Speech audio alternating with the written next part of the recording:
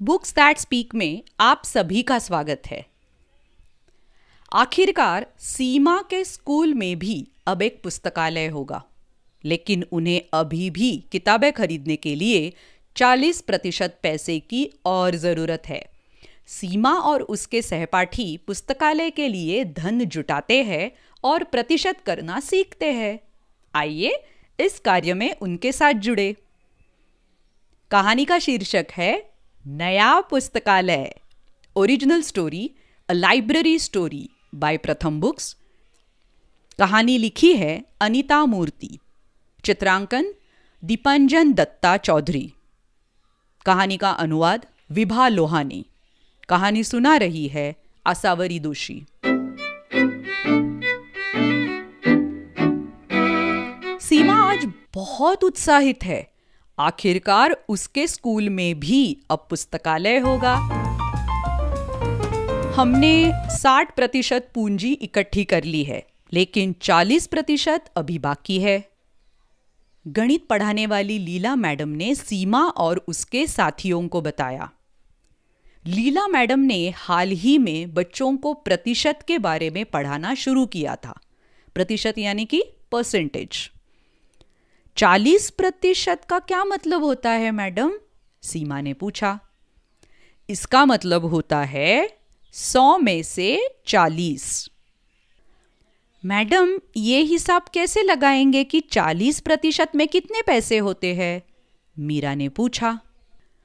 लीला madam ने उन्हें बताया कि लाइब्रेरी बनाने के लिए पाँच हज़ार रुपये चाहिए। तो पाँच हज़ार यहाँ सौ प्रतिशत है। अब बताओ, पाँच हज़ार में कितने सौ हुए? लीला मैडम ने पूछा। पचास सौ। सीमा ने तुरंत जवाब दिया। यानी कि पाँच हज़ार को अगर हम सौ से डिवाइड करें तो हमें जवाब मिलता है पचास।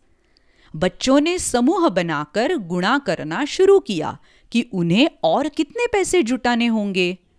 अगर हम पचास सौ के हर सौ में से चालीस ले तो हमें मिलता है पचास गुना चालीस मतलब दो हज़ार।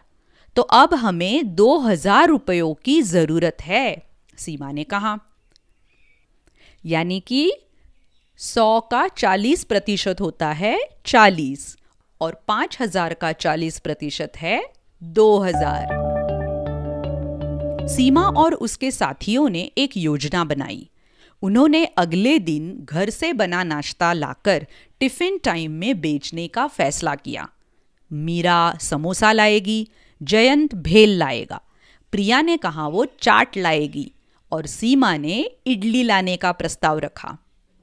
अगले दिन बच्चों ने अपने कमाए सारे पैसे लीला मैडम को दिए। क्या पुस्तकालय से हम भी कुछ किताबें चुन सकते हैं? सीमा ने पूछा, बिल्कुल? लीला मैडम मुस्कुरा दी। कैसी लगी कहानी? और ऐसी बहुत सारी कहानियाँ सुनने के लिए बुक्स दैट स्पीक ये हमारे चैनल पर आप ज़रूर आइएगा, यूट्यूब पर और अलग अलग पॉडकास्टिंग चैनल्स पर। तो मिलते हैं फिर। धन्यवाद। Bye bye